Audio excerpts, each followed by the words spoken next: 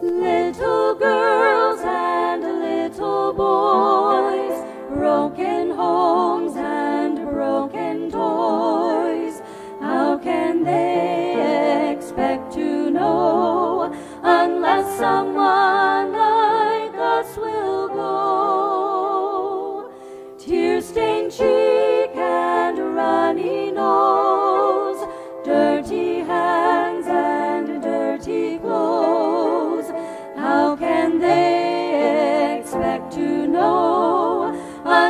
some